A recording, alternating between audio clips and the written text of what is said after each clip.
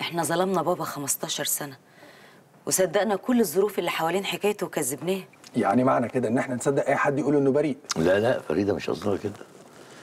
فريدة قصدها إن البنت من حقها تاخد فرصة تدافع عن أبوها. ما ينفعش من مكتبي ولاكتر من سبب.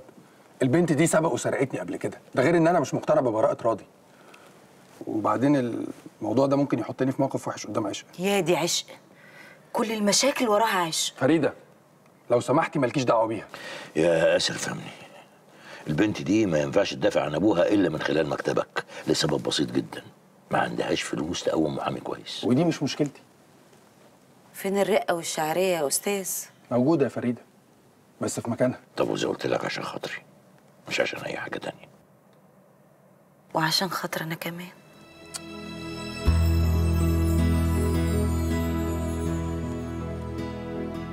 المشكلة أنا لما بقرأ القضية وبنسى إني بنتك بصدق إنك أنت اللي قتلت. والله ما قتلته. أنا عارفة يا بابا ومصدقك بس ده الإحساس اللي بيجي لي لما بقرأ وده الإحساس اللي هيجي لوكيل النيابة والقاضي كمان. ما هو ده شغل بقى المحامي يغير الاحساس ده. أنت عارف إن أنا اللي هترافع عنك.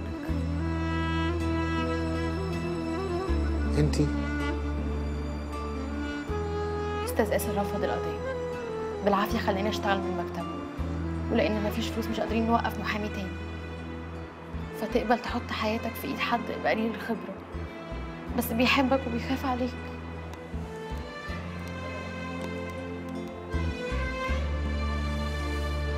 بلاش منها خلي المحكمة تقول المحامي خايف مني يا بابا.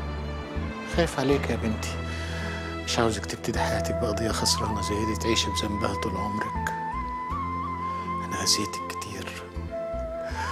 ومش عاوز آخر حاجة أعملها إن أدمر اللي جاي من عمرك. أنا لو ما كسبتش القضية دي يا بابا يبقى مفيش أي قضية تانية مهمة بالنسبة لي.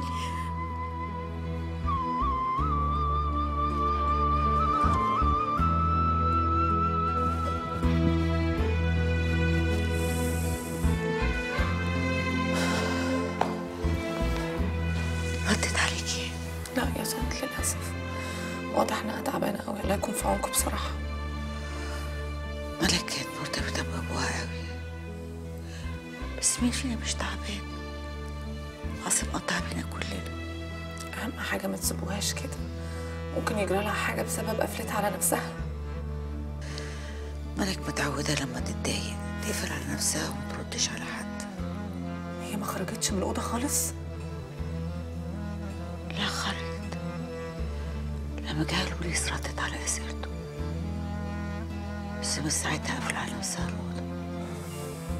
طيب على فكرة طارق كان عايز يجي يعزي بس أنا قلت له بلاش.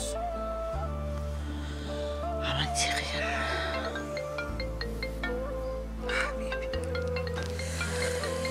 التليفون بتاعه ما بطلش رن مع إننا حطينا ورقة على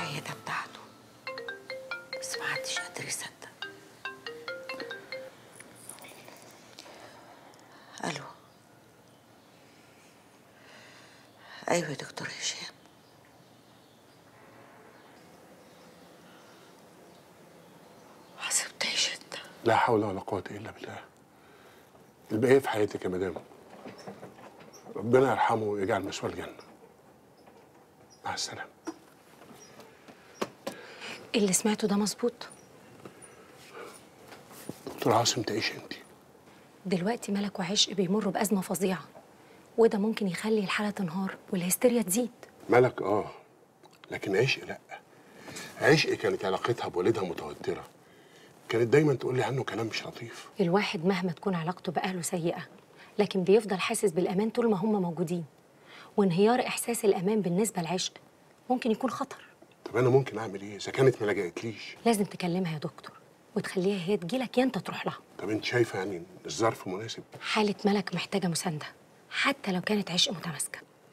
حاضر. هعمل محاولة وأكلم ملك.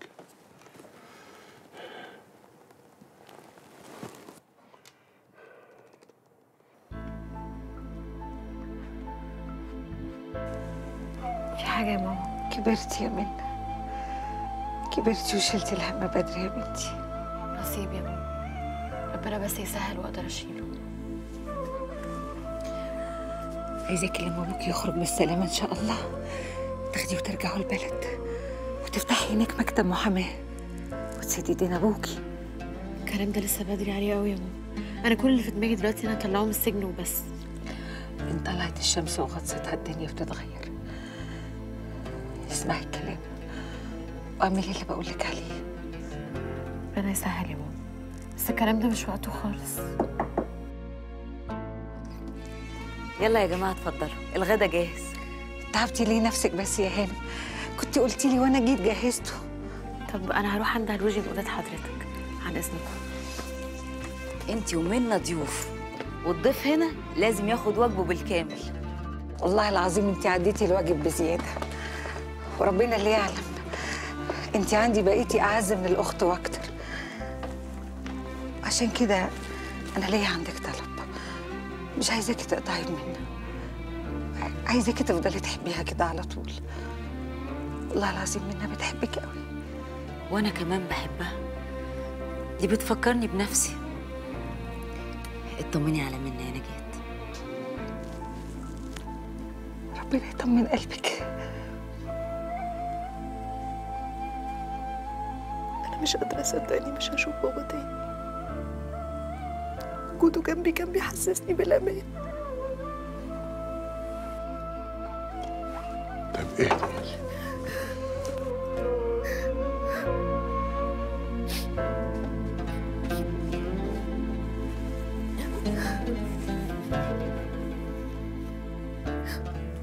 لو حصل لي حاجة مين اللي هيقف جنبي زي ما عمل معايا ساعة الطلاق؟ الموت ده حاجة صعبة قوي. بصي الموت جزء من الحياة. لازم نقبل بوجوده. أيوة. بس لو كان تعب مثلا كان يبقى فيه تمهيد. لكن كده ومين اللي يعمل كده؟ عم راضي الراجل اللي بابا كان طول عمره بيساعده هو ومراته وبنته. أنا ندمانه على كل لحظة عملتهم فيها كويس. اوعي تندمي على الخير اللي بتعمليه. وبعدين ما تخليش حزنك على والدك كده يقفك بالعكس يا دكتور. أنا حزني على بابا محسسني إن أنا أقوى. تعرف يا دكتور من ساعة الحادثة عايشه اختفت خالص. غريبة. طب إيه العلاقة بين وفاة الدكتور عاصم وعشق مش عارف. بس أنا ما بقتش أحس بصداع ولا بغيب عن الدنيا ولا أي حاجة من دي خالص. جايز تكون الصدمة سدت الشرخ اللي بتخرج منه عشق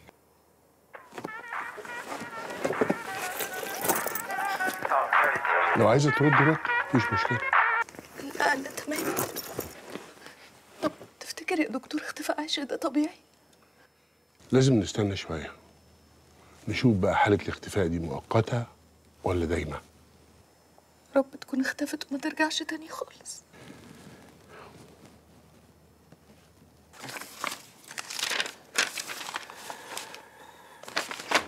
مش فاهم أي حاجة. الحسابات كلها ملعبكة. اللي قدامي بيقول إن بابا كان بيصرف أكتر من اللي بيدخل له كان معتمد إن العيادة هي اللي هتسد. يعني العاده نفسها لو اتباعت هتجيب لنا كام؟ المشكلة إن قيمة العيادة كانت جاية من اسم بابا وشهرته. كل ده راح معاه. ده مش غير اللي أنا أكلم أي حد من زمايله عشان يشتريها. يعني إيه؟ الدنيا كده أزمت؟ يعني بس طبعا لازم طريقة حياتنا تتغير. مش هينفع نكمل بنفس الطريقة. عارف راضي عمل كده إزاي. مفيش سبب واحد يخليه يعمل اللي عمله ده. بابا كان كويس جدا معاه هو نفسه كان راجل طيب عنده اعتزاز بنفسه ما يخلوش يحقد على حد. أنا كمان زيك. مش داخل دماغي ابدا إن راضي يكون عمل كده. وشك بصراحة في حد تاني. حد تاني إيه بس يا دعاء؟ أمال لما كنتيش شفتي بعينك معايا. يمكن يكون كان بيحاول ينقذ حياته زي ما قال لنا كلنا. المشكلة إن الفيلا ما كانش فيها غير ملك وراضي. لا كان فيه. بس أنت مش واخد بالك. قصدك مين؟ منا ولا نجاة؟ نجاة. أقصد نجاة أنا شفتها بعيني في المكتب هنا وهي بتتخانق مع باباك وماسكة فيه بتطلب منه فلوس. إمتى ده؟ وأنت إزاي ما تقوليش على حاجة زي كده يا دعاء؟ ما كانش ينفع أقول لك وقتها. وبعدين كان واضح قوي إن كان في ما بينهم حاجة. أنت بتخرفي بتقولي إيه يا دعاء؟ بابا ونجاة أنت اتجننتي؟ أنت عمرك ما هتصدق عشان هو باباك. لكن هو بنفسه قايل لي إنها غلطة قديمة وراحت لحلها وطلب مني إن أنا ما أقولكوش. نهار أسود. أكيد كان بيديها فلوس. لما بطل يديها. قتلته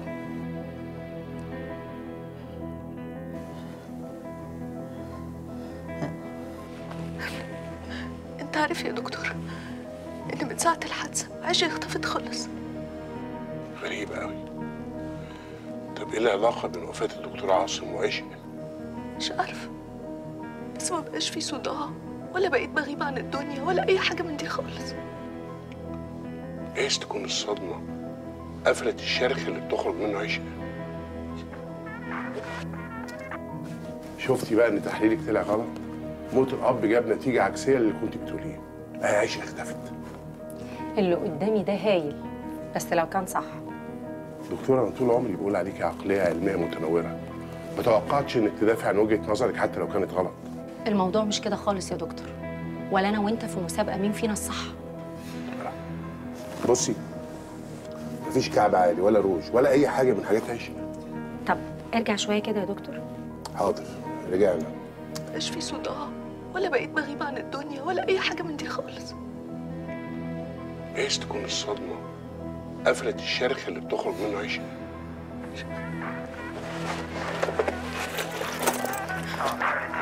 لو عايزة ترد رد. ها سمعت؟ آه سمعت عادي بتقول أنا مش قصدي على الكلام. أنا قصدي رنة الموبايل. دي مش رنة ملك دي رنة عشق. ها إيه رأيك؟ تكون غلطة؟ لا. كده الصورة منطقية أكتر.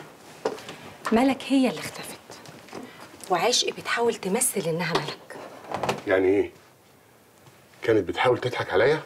طبعا هي استغلتك عاطفيا بس مش هي دي المشكلة. المشكلة أبعد من كده. عشق ممكن يكون ليها يد في قتل الدكتور عاصم.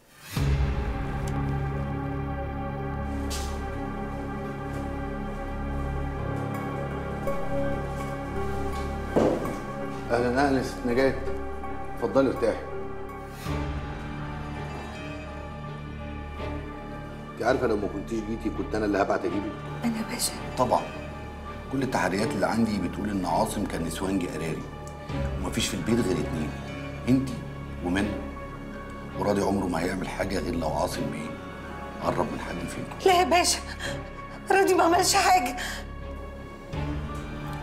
أنا اللي قتلت الدكتور حسن لتاني مرة بتتهمي عشق بالقتل من غير مبرر. قبل كده قلتي إنها ممكن تكون ورا قتل القوات. ولسه عندي نفس الإحساس إنها ممكن تكون عملت كده. حتى بعد ما في حد اعترف بالجريمة. الحكاية بسيطة يا دكتور. عشق بتحاول تفصل عالمها عن عالم ملك وأي حد يقرب بين العالمين بيبقى في خطر. على كده بقى أنا أخطر واحد بالنسبة لك. ده حقيقي وممكن تعمل فيك أي حاجة. إيه السذاجة دي؟ أنت عايزة تخوفيني منها وخلاص. متشكرة يا دكتور بس أنا مش بخوفك أنا عايزاك تاخد بالك. طب هي ممكن تقتل أبوها ليه؟ لأن ممكن تكون أنت السبب أو بمعنى أصح أنا السبب لأن أنا اللي اقترحت عليك إنك تدخلها المستشفى يبقى كان لازم تقتلني الأول قبل ما تقتل الدكتور عاصم؟ أنت ما تملكش لا بشكل قانوني ولا بشكل فعلي إنك تدخلها المستشفى اللي كان يملك ده الدكتور عاصم. شوف يا دكتور أنا شايفة إن أهم جلسة بينك وبينها تكون عن علاقتها بباباها. ودي محتاجة حفر عميق جوه وعيها علشان تعرف قتلت باباها ولا لأ. أنا في الأول كنت فاكراه بيساعدني لوجه الله. لغايه ما وشه الاخضر بان فضلت أهرب منه طول الوقت. لغايه ما لغاية ما إيه؟ ماشي أنا جاي أنا مصدقك وعارف إن هو كان راجل واطي الله يرحمه. بس الكلام ده كان زمان. إيه اللي خلاكي تقتليه دلوقتي أنا هقول لك كل حاجة يا باشا. أنا دخلت له المكتب. يا نجاة.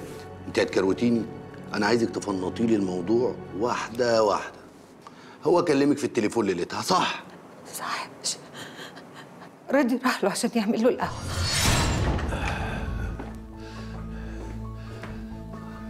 أؤمر يا عاصم بيه. أمال فين نجاة نايمة حضرتك عايز حاجة؟ فنجان قهوه حاضر يا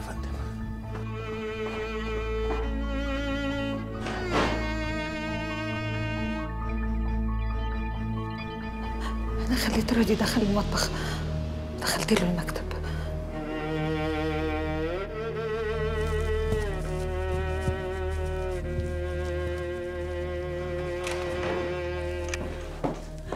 انت إزاي تكلمني في وقت زي ده؟ انت جننت وفيها إيه؟ عادي. راضي خد باله. سألني هو عاوزك في إيه. طب ما تقولي له. انت فاكراها هتفرق. بتقول إيه؟ عايزني افتح نفسي. تفتح نفسك. انت حاسباها غلط. لو عرف هيسكت. راضي مش زي ما انت فاكراه.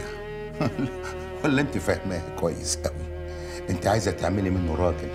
علشان أكش وأخاف منه وأفضل أدفع لك وأنا ساكت. مالك وماله؟ حرق قلبك قوي كده ليه؟ إيه الالفاظ البيئه اللي بتقوليها حرق إيه وكلام فارغ إيه؟ راضي ده راضي ده نص راجل. نص إيه؟ ده ربع. ما تتكلمش عنه كده. راضي ده سيد الرجالة. كفايه بقى حرام عليك كفاية. وفعلا كفاية كده.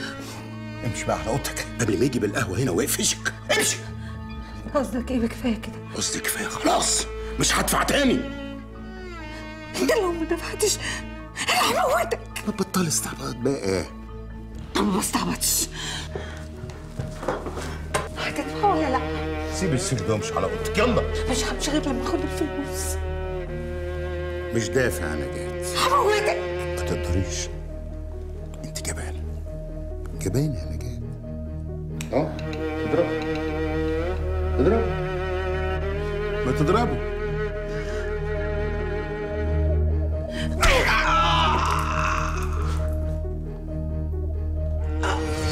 وبعدين خدت بعضي وجريت على الأوضة. يعني فضلت طول السنين اللي فاتت دي مستغفرين الراجل الطيب اللي اسمه راضي ده؟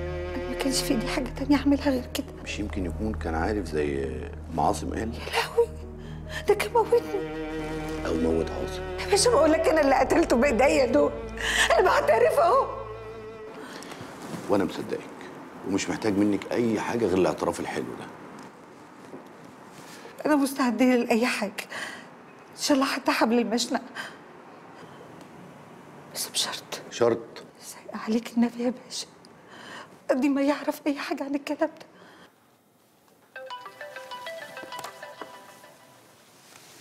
ده. فاهم. أيوه أيوه. دي والدة منى إيه؟ اعترفت؟ لا أنت كتر خيرك. أنا هتصرف. مع السلامة.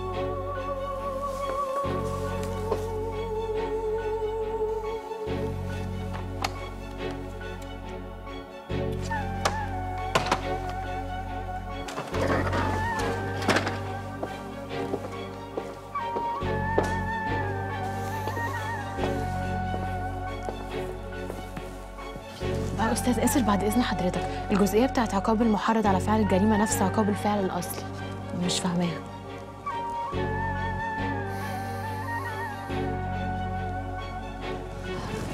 أنا آسفة حضرتك. مش قصدي يعني إن حضرتك تساعدني في القضية أكيد. تعالي يا منى عايزك.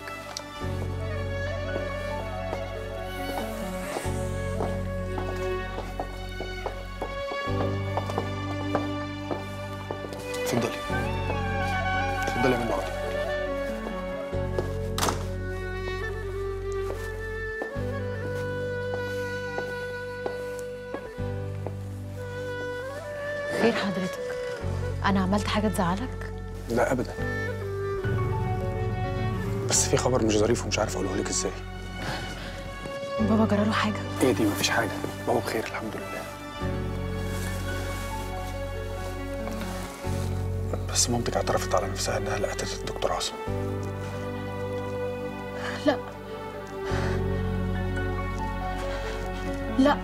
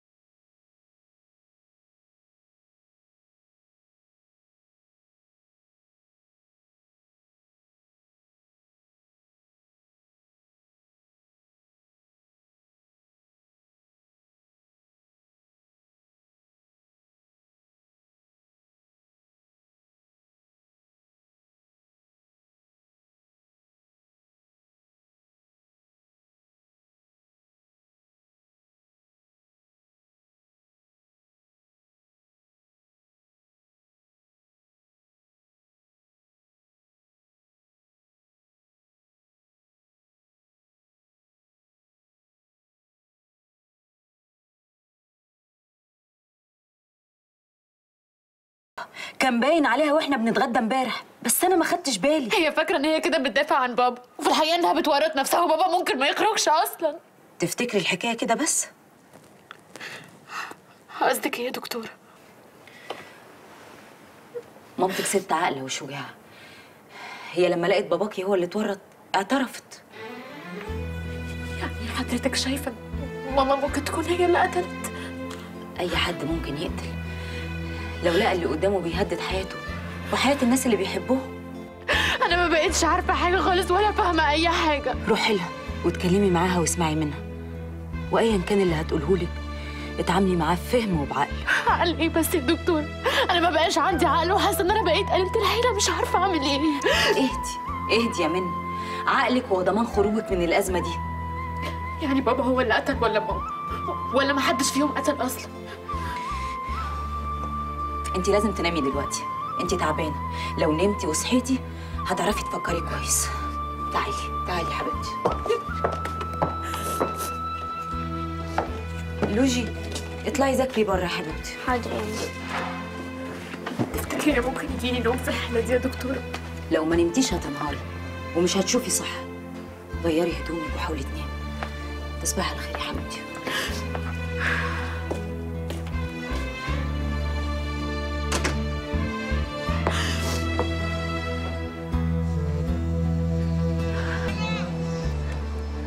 إيه وشك ولا القمر؟ ما حدش شافك يعني من ساعة هيثم الله يرحمه. ما تجوزش على الرحمه ليه؟ حرام عليك. اخلصي يا شمس أنا مش رايقالك عايزة إيه دلوقتي؟ إيه الوش الخشب ده؟ أنا حتى كنت جاية أعزيكي في أبوكي. كنت فاكراك هتبقي زعلانة عليه. طبعا زعلانة عليه.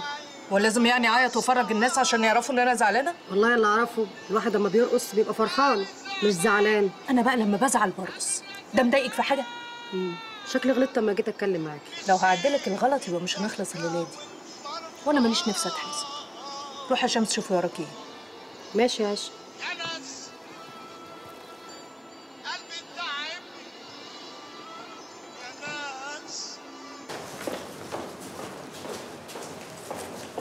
يلا يا بابا. لا أنا مش همشي قبل ما أشوف أمك. هي ما قتلتوش. هي اعترفت عشان تخرجني. يا بابا مش وقته الكلام ده دلوقتي. هنروح الدكتورة فريدة ونقعد نتكلم ونشوف هنعمل إيه. انت عارفه حاجة أنا ما أعرفهاش؟ أنا لازم أشوف نجاة. يا بابا ما ينفعش بتشوفها وهما بيحققوا معاها. عشان خاطر يلا بينا. يلا بقى. يلا عشان خاطر. يلا. يلا.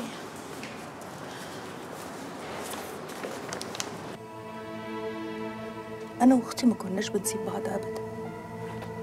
في المدرسة مع بعض بنلعب مع بعض. حتى في النوم كنا في أوضة واحدة. انت كدابة. انت عمرك ما حبيتي أختك. وأنا هكدب عليك ليه؟ ما تسال ماما إحنا كنا مرتبطين ببعض قد إيه؟ ممكن يكون ده بيبان قدام الناس أنتوا صحاب لكن انت من جواكي كنت بتكرهي سيطرتها عليك أنا مش فاهمة انت جبت الكلام ده منين. أنا كنت بحب أختي جدا على فكرة. أنا هصدقك. تقدري تقولي لي أختك راحت فين؟ ما أعرفش. ما كنتوش بتسيبوا بعض زي ما انت بتقولي. يبقى إزاي مش عارفة أختك راحت فين؟ مش عارفة. لا عارفة. مش بعيد تكون انت السبب في اختفائها.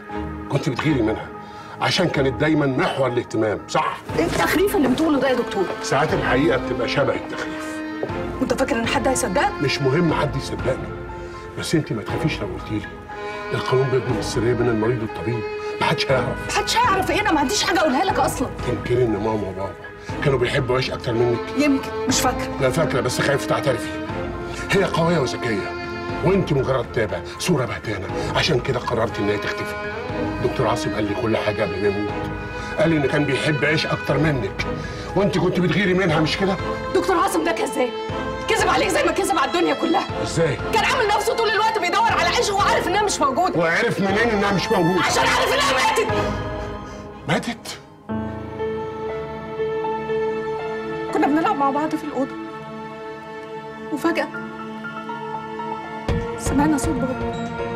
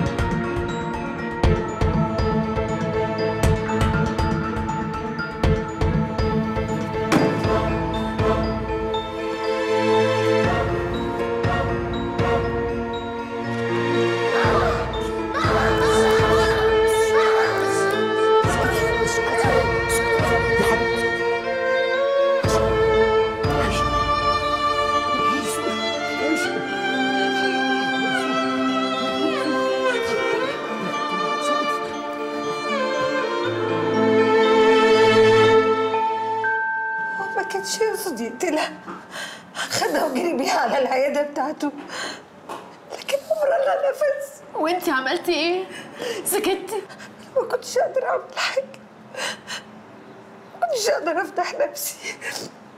ولما رجع قال إن هو دفنها في مدافنهم الموضوع اتقفل على كده. وقتلتيني لما انتي خايفة من الفضيحة لا أنا ما قتلتوش. أبوكي هو اللي قتله. بعد ما عرف. يعني عشقي ماتت عشقي ماتت يا ملك ما ماتتش. بس انت قلتي انه موتها. افتكر انه موتها بس هي ما ماتتش. عشقي ماتت هي دي الحقيقة اللي انت بتهربي منها. وهروبك ده هو اللي بيخليكي تعيشي في الوهم. الوهم اللي بتقول عليه ده هو اللي خلاني أقدر أكمل وأعيش. من غيره ما كنتش هعرف أكمل. تقدر تقول لي كنت هبص في وشه كل يوم إزاي الصبح وأنا عارفة إن هو اللي قتل أختي؟ كرهتيه. خفت منه لما بيفتح باب الأوضة ويدخل عليا. كنت بفتكر إنه هيخنقني زيها. كنت بترعش لما بيجي يغطيني ويمثل دور الأب. كنت ساعات بحس إن أنا عايزة أقول له شيل إيدك بعيد عني. إيدك دي اللي قتلتها. طب ليه ما قلتيش لحد ماما مثلا؟ ما قدرتش. ما قدرتش لدرجة إني بطلت أتكلم. كل ما كنت أحاول أتكلم صوتي ما كانش بيطلع. كان حد ماسك لساني وبعدين؟ لما كنت بسمع صوته ولا حد يقول كلمة بابا كنت أشوف منظره وهو حاطط إيده على بقه. والهرصة بتقع من إيديه تفضل تقع. تقع. لغاية ما الدنيا تضلم ويغمى عليا. طب وفضلتي كده كتير؟ عيش ظهرت تاني. طب عرفتي منين إنها ظهرت؟ أنتوا ما بتتقابلوش. كانت بتسيب لي ورق صغير مكتوب عليه حاجات. طب فاكرة أول مرة؟ صحيت الصبح لقيتها سايبة لي ورقة مكتوب عليها صباح الخير. أنا عايش وانت ما خفتيش منها؟ بالعكس. أنا من ساعتها اطمنت وقدرت أنام. والرسائل دي لسه بتبعتها لك لغاية دلوقتي؟ خلاص. أنا بقيت عارفة إنها موجودة. بابا ما يعرفش أي حاجة عن علاقتك بعاصم. ملك كانت بتضحك عليكي؟ يعني مش أبوكي هو اللي قتله. بابا لو كان عملها كان قال لي أنا أول واحدة مش لأني بنته لأني أنا المحامية بتاعته. وتقولي لأبوكي أي حاجة من اللي أنا قلتها لك. قول له إيه بس يا ماما قول له إيه؟ هو انت قلتي الكلام اللي انت قلتيه ده للظابط في التحقيق؟ قلتي له أيوه. بس هو وعدني إن هو مش هيقول لحد انت كده ثبتي التهمة على نفسك. مش مهم. طالما ابوكي خرج منها. طب وانتي؟ أنا غلطت ولازم أدفع ثمن غلطي. والحكاية دي بقى هي اللي كرهتك في العلاقة بالراجل والست. مش كده؟ سؤال ذكي مش هرد عليه. انت ليه عملت كده؟ ليه فكرتها؟ ما تقوليش عشان مصلحتها والجو الفاضي ده. أمال أكون عملت كده ليه؟ أنا شايفاك وأنت مبسوط بنفسك وهي بتتعذب قدامك. طب ليه ما حاولتيش تحميها؟ عشان هي عايزة كده. هي كانت عايزة تتعذب. والحكاية دي بتعذبك زيها؟ لا بس بتعصبني. طب بابا بيحسسك بإيه؟ الدكتور عاصم. ما بلاش السيرة دي. بيعصبك؟ أنا ما قابلتوش. إزاي وأنتوا عايشين في نفس البيت؟ طب ما أنا ومالك عايشين في نفس الجسم وعمرنا ما اتقابلنا ما فكرتيش تنتقمي منه؟ انت اللي قتلتيه مش كده؟ كل كلامك بيقول ان انت اللي قتلتيه. هو اللي صمم يتقتل إزاي؟ مين؟ في حاجة يا بابا؟ هو ما حدش هنا ولا إيه؟ لا ماما ومازن راحوا عند طنط عفاف طب كويس قوي. يعني أنا وانت لوحدنا إيه الحكاية بقى؟ حكاية إيه؟ حكاية عشق أنتوا لقيتوها؟ أنا زمان كنت مصدقك ومصدق تمثيلك لكن دلوقتي خلاص ما بقتش مصدقك. ملك تعالي هنا. ملك استني. راح فين؟ بابا معلش أنا تعبانة شوية. لو بتحبني بلاش نتكلم دلوقتي. أنا عايز افهم أنت ليه بتعملي كده؟ أنت يا بنت أنت واقفة لما أكلمك. تعالي هنا أهو. اقف يا أبوك عايز أفهم بالظبط. أنت ليه بتعملي فيها عشاء؟ ولما بتخرجي بره بتعملي إيه؟ انت بتحاكمني بأمارة إيه؟ ما قبل ما تحاكمني روح شوف نفسك. روح شوف. بابا أنا آسفة. أنا آسفة يا بابا. بابا ابوس إيدك ابوس إيدك بلاش نتكلم دلوقتي عشان خاطر تعالي هنا. ما هو أنا مش هسيبك الا لما افهم. تعملي إيه بره وانت عامله عشاء يبقى اللي شاف عمر صح. صارف البنات وبتمشي مع رجالة. طب ما انت بتمشي مع ستات ومش عاتق حتى الشغاله بقول لك إيه يا دكتور؟ لم نفسك وبلاش نتكلم عن العلاقات والمشي ها؟ انت إزاي تكلميني بالشكل ده؟ ده أنا أبوك. ابويا ابويا بمرة إيه الأب يا حبيبي يعني رعايه وأنت راجل مش فاضي لحد.